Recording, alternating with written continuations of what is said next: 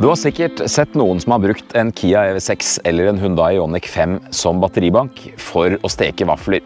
Du kan ta med deg hårføner, du kan ta med deg arbeidslampe, litt av hvert. Med andre ord, denne bilen kan du koble til veldig mange apparater som du ellers bruker hjemme, som f.eks. en kaffemaskin. Men i den testen her så skal vi ta det et langt stykke lenger. V2L, som det kalles, Vehicle to Load, skal nå bli til Vehicle to Vogn, eller bil til vogn. Hvor vi skal mate eh, campingvogna med strøm til oppvarming og alt som ellers trengs. Eh, og se hvordan det fungerer til fricamping.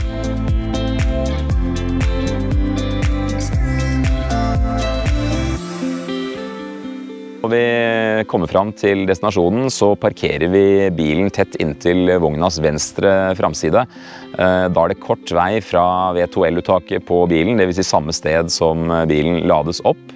Eh, og man trenger ikke noen skjøteledning for å eh, gi vognstrøm.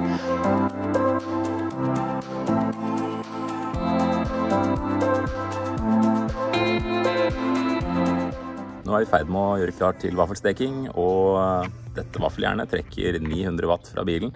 Så kan du regne litt på hvor lenge du kan steke vafler med det effekttrekket. Nå skal vi se. Da blir det vafler.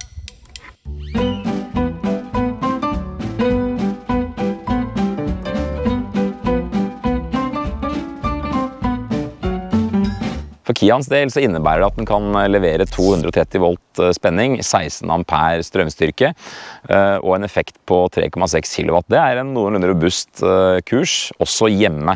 Vi så underveis at når vi dro til med den varmen vi trengte, og vel så det, så trakk det 2,2 kW effekt fra fra batteripakka, og i vissheten om at vi har en 73-74 kWt til rådighet i batteripakka i bilen, så betyr jo det at du faktisk kan stå godt over 30 timer med full guff på den varmen.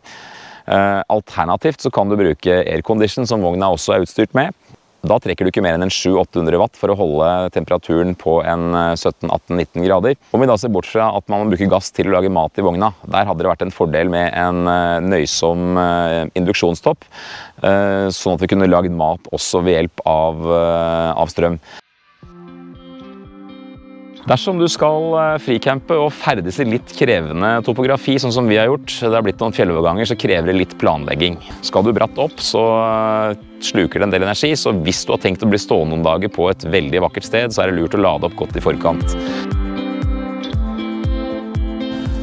Så altså her i bilen så kan du sette nedre utladingsnivå for batteripakka når du bruker den til V2L. Nederste er 20% som da utgjør en 14-15 kWt.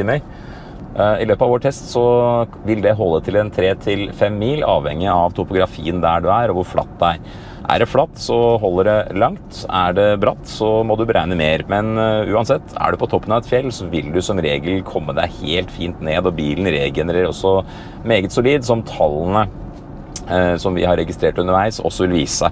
Så forutsetningene for den testen er bilen vi kjører, en Kia EV6 med firehjulsdrift, uh, batteripakke på 77,4 kWt, som jeg forutsetter har omtrent 73-74 tilgjengelig til kjøring. Eller Vehicle to Load V2L, alt ettersom hva du bruker strømmen til.